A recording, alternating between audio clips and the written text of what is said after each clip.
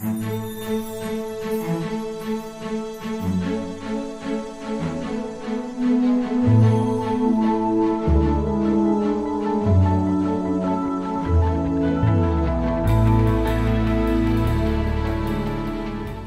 you, everyone. I'm Muffy Kaysberg, and on behalf of the Board of Directors of Benjamin Rose Institute, I would love to welcome you all and thank you to all of you who've been here all day and are staying. Um, we're very excited about this program today, and without further ado, I'm going to turn it over to Rich Browdie, our president, to introduce our speaker. Thank you.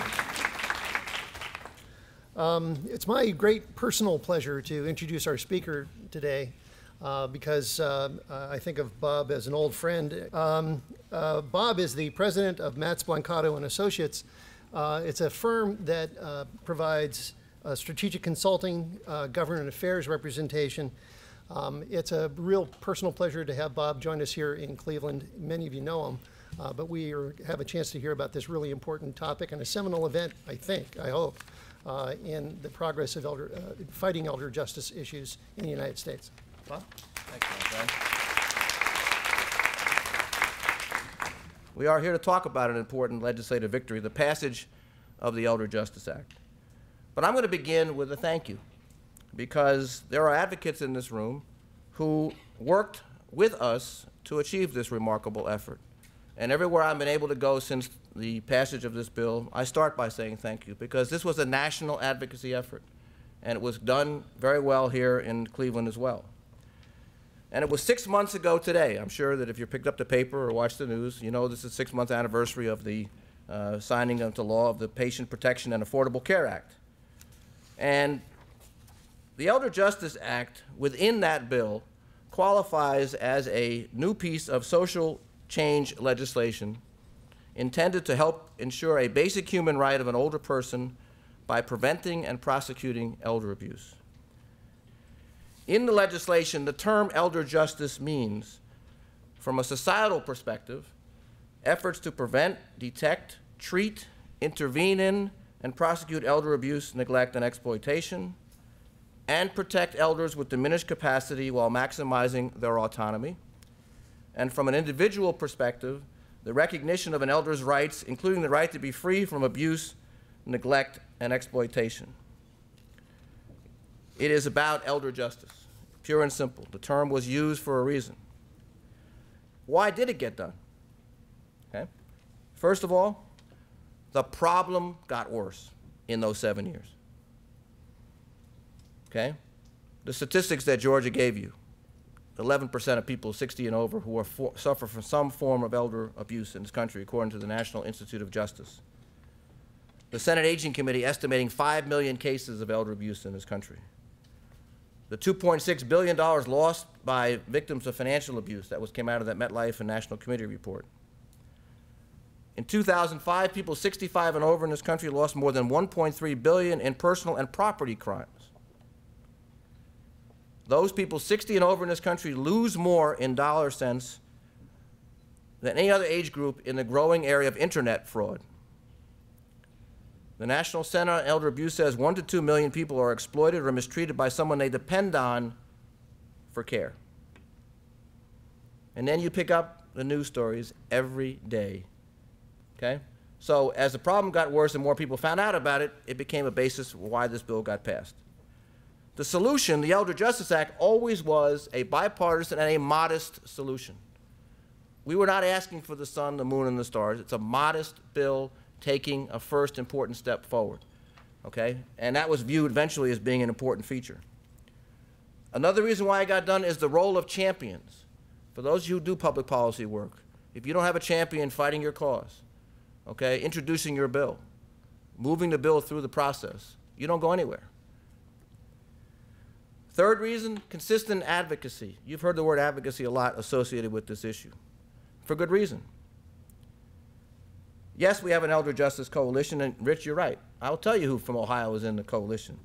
The Association of Probate Judges, the Association, Ohio Association of Long-Term Care Ombudsmen, OCAPS, the Senior and Adult Services of Cuyahoga, did I say that right, County? Western Reserve Area Agency on Aging, Carol in Georgia and Rich are individual members.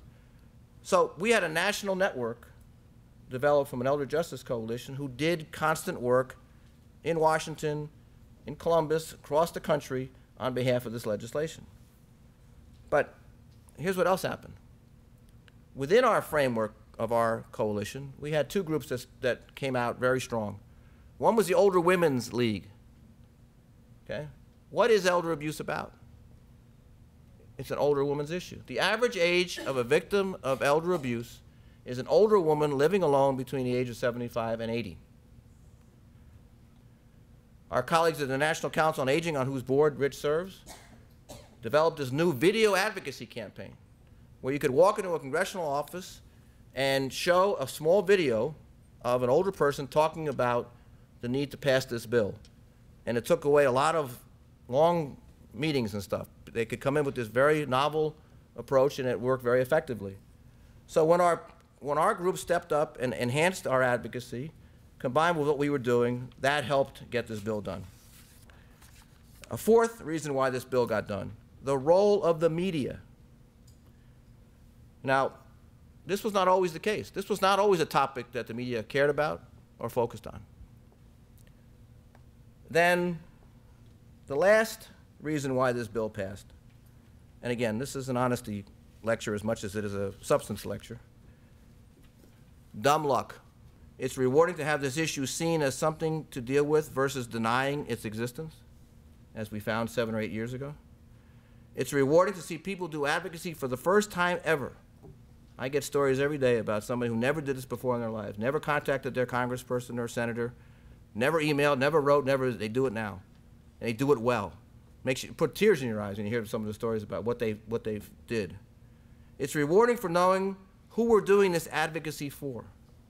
A victim of elder abuse, the older woman living alone between 75 and 80, the victim who loses his or her life savings to someone who exploits their vulnerability of living alone. It's rewarding because we're helping victims, but we're also helping to provide resources to those on the front line trying to reduce victimization, APS, ombudsman, law enforcement, aging network, social workers, etc. Because a victim of elder abuse is never the same. And that it should be our great motivator. But we have to finish our work. With elder justice, it is about the money. It would be the cruelest hoax possible not to have this funded after the work that went in to get the bill passed. And then we need to pass these other bills to make the commitment that more, that much more comprehensive.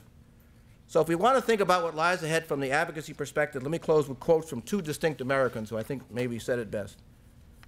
One, there are risks and costs to a program of action, but they are far less than the long-range risks and cost of comfortable inaction. John Kennedy. Even if you're on the right track, you'll get run over if you just sit there. Will Rogers. Thank you very much.